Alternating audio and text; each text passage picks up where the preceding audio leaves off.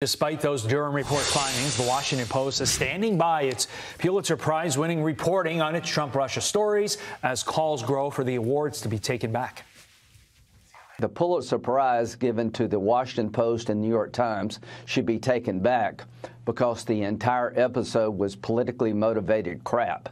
That's not something you should get a Pulitzer Prize for.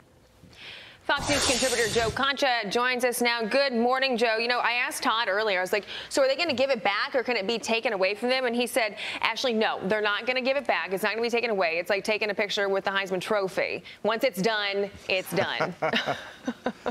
That's a great analogy. Thank you. I believe the University of Missouri would be proud, uh, or Dartmouth in, in Todd's case. Uh, look, this is called the hubris of the defeated, right? Uh, I mean, imagine this standing by two plus two actually equals five, or the sky is green, and swearing that you're still right. Here are the facts, and they are readily apparent to anyone sane or sober that the Trump Russia investigation should have never been launched. It kneecapped a presidency for most of its term based on evidence that did not exist. Yet many in the media are still defending it and, and, and covering it myopically as they did for all that time. And this is why trust in media from the conservative side is now in the single digits. The messenger simply cannot be trusted anymore, Todd. Well, look at these numbers. I mean, this is absolute insanity. Some of the mainstream media awards for their Russia probe coverage. The Washington Post getting not one, not two, but 10 Pulitzer Prizes, a George Polk Award, and two Murrows. Times, New York Times, getting 10 Pulitzer Prizes and a George Polk Award. And PBS NewsHour getting a Peabody Award for its series Inside hmm. Putin's Russia. Joe, would you go so far as to say the media elite was so quick to award their own for this coverage because they really wanted to validate it as quickly as possible in light of the fact that maybe they had some reservations about it? Mm, precisely, Todd. It's like those 51 intelligence officers that swore that the Hunter Biden laptop was absolutely Russian disinformation without ever, you know, examining the laptop or, or seeing the evidence, right?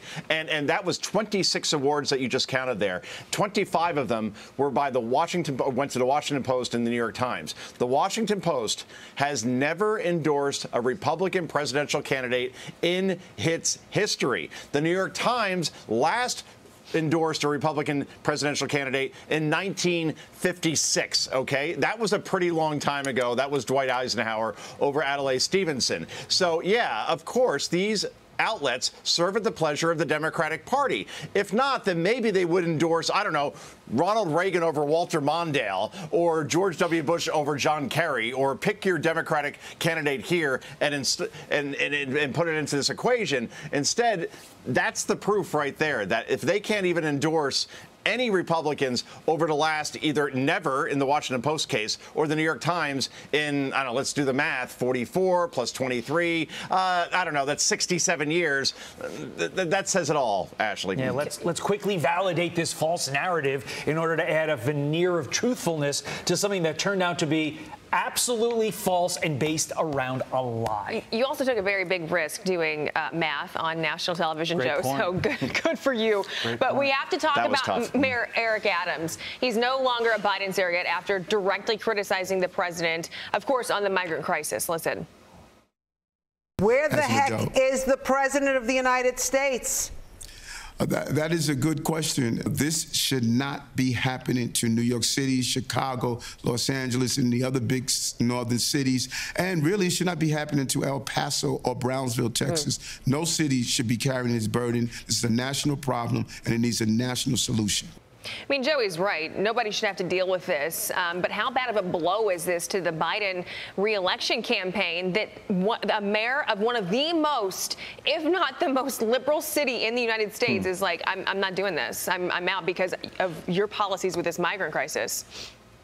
Well, for starters, Eric Adams then should declare that his city is no longer a sanctuary city, and I don't endorse that policy anymore. I mean, the words are nice, but uh, back it up with some actions, Mayor. But but who knew that the Biden administration, Ashley, would become the 2023 version of you know Mean Girls, right? So petty, so vindictive. I mean, Eric Adams, Mayor of New York, he has the audacity to criticize this administration for their handling of the border crisis because it's affecting his city just like it is affecting Chicago, Washington. They keep saying they don't have the capacity the resources to handle this influx. And it's gotten so bad to the point where now dozens upon dozens of public schools have to house illegal migrants in their gymnasiums, which I'm pretty sure, you know, that's not the reason why they were built. So uh, th- this is why a solid majority of Democrats do not want Joe Biden and this administration to run again for president and have this kind of power because they feel that the president's too old, his team is too incompetent, and quite frankly, they don't have the maturity to have the power that they do, Todd. And those parents in those schools are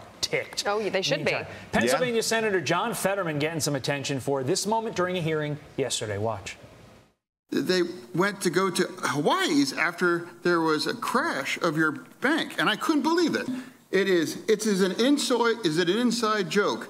No, no, matter how incompetent or how greedy, the, the government will always bail you out because we can't crash the economy much the way SVB was argued that it was going to crash. Is it a staggering responsibility that, uh, the, that the head of a bank could literally could literally crash our economy? Fetterman spokesperson telling Fox News Digital, quote, we have been clear for literally months and months that John continues to have auditory processing issues due to the effects of his stroke. Joe, your reaction. So resign resign if he still has these problems for the good of your family, right? John Fetterman twice now has been in the hospital for extended periods of time because clearly he has not recovered from the massive stroke he had about one year ago. So, you know, you could dunk on Fetterman. Oh, wow, look at him. You know, he, he, he doesn't have the ability to do this job. You don't make jokes here. What he should do is resign for the good of his own health. He has kids, he has a wife at home. Stop doing this to yourself. It's embarrassing for the country. It's embarrassing for you. Get well and then run for office again if you feel you want to still serve your country, guys. Joe Concha, live for us here on a Wednesday. Joe, Thanks, thank Joe. you very much. I'm Steve Doocy. I'm Brian Kilmeade. And I'm Ainsley Earhardt. And click here to subscribe to the Fox News YouTube page to catch our hottest interviews and most compelling analysis.